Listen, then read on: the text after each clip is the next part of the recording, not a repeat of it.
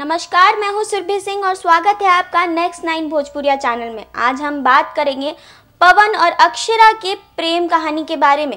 क्यों इनकी कहानी अधूरी रह गई? क्यों इन दोनों को होना पड़ा एक दूसरे से अलग? अक्षरा सिंह और पवन सिंह की लव स्टोरी को कौन नहीं जानता है? भोजपुरी स्टार पवन सिंह और अक्षरा सिंह की जोड़ी कभी सिल्वर स्क्रीन पर ज़बरदस्त हिट हुआ करती थी। रील के साथ पवन और अक्षरा का रियल लाइफ रोमांस भी चला।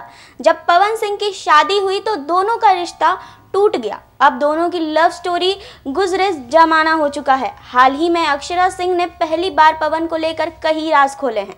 उन्होंने बताया कि किस तरह पवन की आँखों में वो खटकने लगी थी। आगे हम इस रिपोर्ट में आपको ये ज़रूर दिखाएँगे कि ऐसा क्या हो गया जो इन दोनों सुपरस्टार की कहानी अधूरी रह गई। और ऐसे बातें बताएँगे जो आप नहीं जानते होंगे। आगे देखें इस रिपोर्ट में। अक्षरा सिंह और पवन सिंह की प्रेम कहानी क्यों रह गई अधूरी? क्यों दोनों नहीं बंध पाए शादी के पवित्र बंधन में? जी हाँ इस वीडियो में हम आपको यही बताने वाले हैं कि आखिर क्यों इनकी प्रेम कहानी अधूरी रह गई और कहाँ से शुरू हुई थी इनकी प्रेम कहानी? पवन सिंह और अक्षरा सिंह की लव स्टोरी भोजपुरी इंडस्ट्री की कभी ना भूले जाने वाली लव स्टोरी है। इनके प्यार के किस्से तो बच्चों बच्चों को पता है। पवन और अक्षरा की लव स्टोरी में दोनों ही हीरो हीरोइन थे, लेकिन अब अक्षरा ने पवन को विलन बना दिया है। अक्षरा ने खेसारी के साथ भी बहुत फ़िल्में की है। खेसारी और अक्षरा की जोड़ी सुपरहिट जोड़ियों में से एक मानी जाती है। अक्षरा और खेसारी एक दूसरे से बहुत प्यार करते थे और बिग बॉस के घर में खेसारी ने इस बात का खुलासा भी किया था। खेसारी ने कहा था कि अक्षरा से दूर रहकर मैं छह महीने तक सो नहीं पाया। उसकी आदत सी पड़ गई थी, दिल हर जगह सिर्फ़ उसे ही ढूंढता रहता था।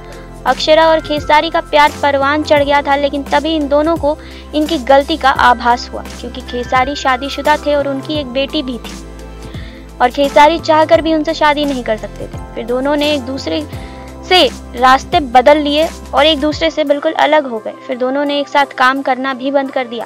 अक्षरा सिंह का दिल टूट गया तो वहीं पवन सिंह का भी दिल टूटा हुआ था, क्योंकि पवन की दूसरी पत्नी नीलम ने आत्महत्या कर ली थी। पवन बहुत परेशान रहते थे, दोनों ही दुख में थे। वो दोनों साथ में फ़िल्में भी करते थे और सेट पे दोनों की बातचीत भी खूब होती थी। तो दोनों बहुत जल्द ही करीब आ गए। दोनों ही एक दूसरे के प्यार में पड़ गए। इनकी लव स्टोरी की शुरुआत हुई 2016 में। पवन ने अक्षरा सिंह के करियर को सेट करने का फैसला ले लिया। पवन ने कई सारे प्रोड्यूसर से अक्षरा को अपने साथ काम देने की सिफारिश की। पवन के सिफारिश से अक्षरा को सत्या जैसी फ़िल्म में कास्ट कर लिया गया और इस फ़िल्म के बाद अक्षरा सिंह के करियर ने रफ्तार पकड़ ली और एक के बाद एक उन्हें फ़िल्में मिलने लगी। साथ साथ काम करना स्टेज शो करना, गाने की रिकॉर्डिंग करना, काम के साथ साथ दोनों एक दूसरे के बहुत करीब आ गए। इनके प्यार के चर्चे पूरे इंडस्ट्री में होने लगे। खबरें आने लगी कि दोनों जल्द ही शादी करेंगे। पवन सिंह के दोस्त अक्षरा सिंह को भाभी कह के बुलाने लगे। तो वहीं इनका प्यार पवन सिंह के परिवार को अच्छा नहीं लगता था। पवन सिंह का परिवार इनके प्यार के खिलाफ था। एक दिन इनके बीच ऐसा कुछ हुआ जो इन्हें बर्बाद करके चला गया। दोनों की प्रेम कहानी पर पूर्ण विराम लग गया। जी हाँ पटना के एक होटल में आधी रात को अक्षरा सिंह और पवन सिंह के बीच किसी बात को लेकर बहस हो गई और उस वक्त पवन सिंह शराब के नशे में थे। पवन सिंह ने अक्षरा सिंह के साथ हाथापाई की और ये खबर बाहर आ गई। इन दोनों की इस गलती से इनका रिश्ता बिखर गया। दोनों के बीच मन मुटाव चलने लगे। प्यार इतना था कि दोनों एक दूसरे को छोड़ भी नहीं सकते थे और हालात ऐसे हो गए थे कि साथ भी नहीं रह सकते थे। एक दिन अचानक पवन के परिवार ने पवन की शादी करने का फैसला ले लिया और बलिया की ज्योति सिंह से शादी रचा दी।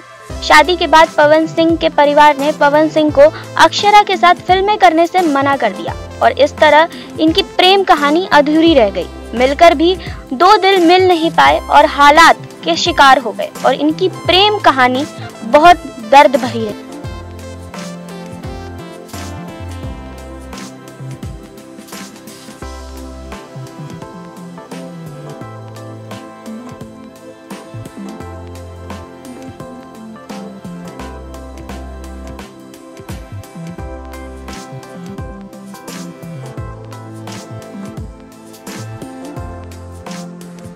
तो अभी आपने देखा कि कितना कुछ हुआ है इन दोनों के साथ और क्यों? ये एक दूसरे से हो गए अलग।